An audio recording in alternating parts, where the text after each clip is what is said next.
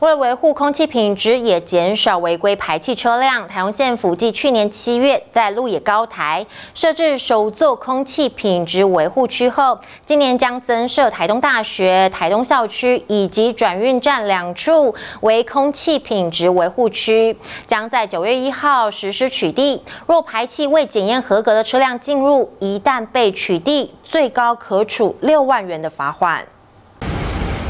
为了维护空气品质，也减少违规排气车辆，台东县政府继去年七月在鹿野高台设置首座空气品质维护区后，今年将增设台东大学、台东校区与转运站两处为空气品质维护区，将在九月一号实施取缔。我们希望说可以维持该区域的一个空气品质，就是表示说进入该区域的车辆都是干净的。没有排烟污染的，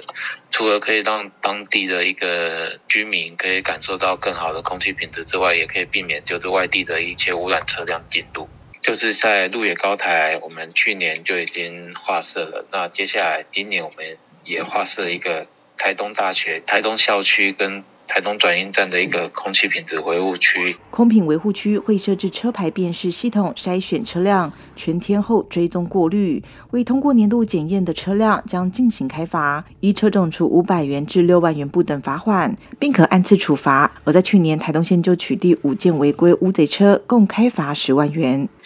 在这个区域范我们的范围之内，我们都会管制。如果你的机车是没有做机车排气检验的，只要被我。一旦被我们就是发现你是没有做检验的，然后你进去了，那就直接就是开罚了。我们会去就是拍摄行经该路段的一个车辆，好善意的提醒说：“哎，你的车子还没有做定检，要赶快去做定检，因为从九月一号开始，你再进来。”你就是拿到罚单。县府也提到，透过管制高污染车辆进入，改善细悬浮微粒浓度，要求管制对象需符合规范，才能不受限制进入空气品质维护区。不止维护民众的健康，也让来台东的游客们能有最清新的空气品质。而环保局进一步说明，台东县认可机车排气检验站共五十八站，可免费完成当年度排气检验，请车主确认车辆排烟合格良好，以免受罚。记者张介台东市报道。